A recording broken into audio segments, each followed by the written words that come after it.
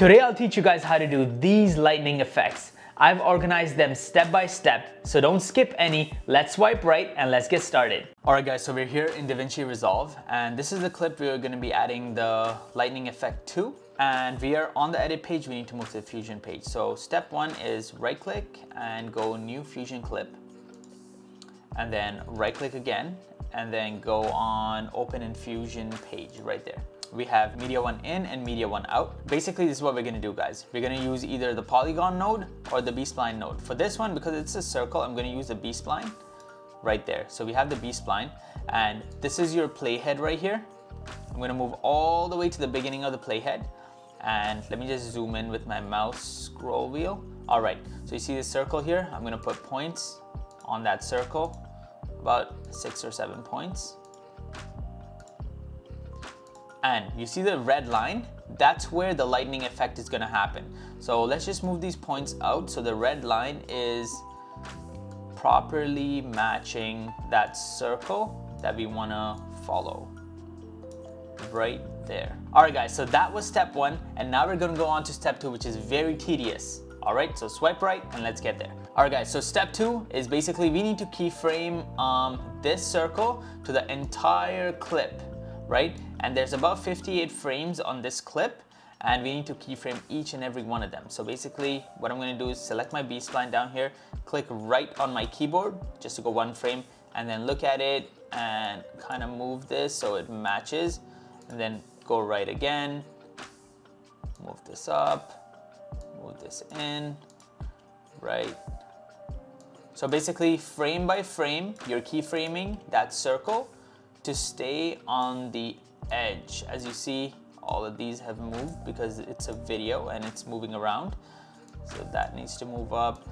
So what I'm gonna do is just to speed up the process, I'm gonna fast forward this um, so you guys don't have to watch all 58 frames. It's gonna take me about 25 to 30 minutes just to do this. So I'm fast forwarding right now. Alright guys, so I'm done keyframing the entire video. As you can see, the red circle is moving exactly where the circle on the image is. And even if I'm scrubbing through, you see that it is staying on that circle. Alright, so now we're gonna go on to the next step. So next step is we need to add a merge node into media in one. So basically click media in one and merge node, as you see. And now attach your B-spline onto your merge node and you're gonna notice that your circle that you created has turned completely white. And now go onto your right side and as you can see the solid is checked, uncheck that and your border width, you gotta increase the size of that. As you see as I scroll this, it's increasing the size, right? So let's do 0.013 just for these purposes. Usually I don't have it that thick. And then you would come down here and as you see your length, that slider as you bring that down, you'll notice that the length is going down as well of that circle. Okay, so let's have it right up to there for the length. So this is how it looks with the white line there. And then now the final thing before we move on to the next step is the position.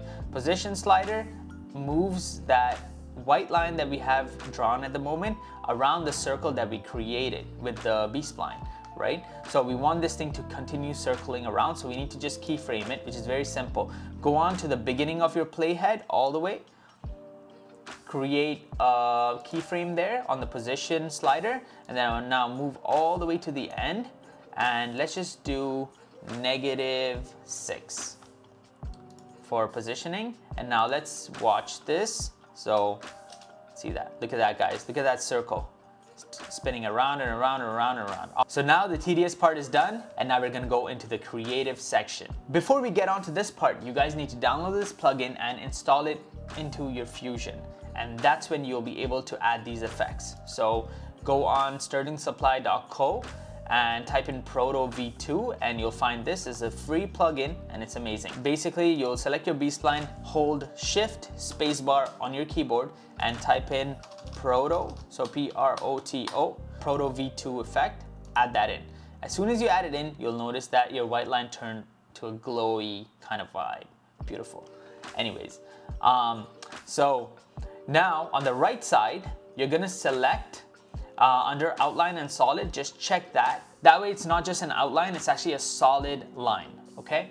And now under user is where the interesting thing happens. You can actually select how you want that line to look. So lava, ghost, Wanda, electro. Ooh, electro looks nice.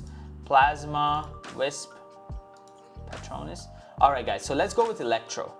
Okay, because it has the little electric sparks on the side. I like that. All right, so all these sliders that you see on the right side, don't get intimidated by it. They're super easy to use. So basically this is just to bring the glow up or down on it. All right, so I'll have it right there. I'll reduce the glow size because the glow is a bit too much. And then even the glow blur, I'll reduce that. Noise detail maybe a little bit low. Um, and now we can actually select the color you want. So that's amazing, right? So let's see how green looks. Oh, green, no. Maybe red. Oh yeah, red looks amazing, guys. And that's about it, guys. Now when you play the video, watch this. Thank you guys so much for watching. I hope you learned something new today. If you did, please leave a comment below. Based on the feedback that I get, I'll be making more tutorial videos that are very detailed just like this. Thank you again. Until next time.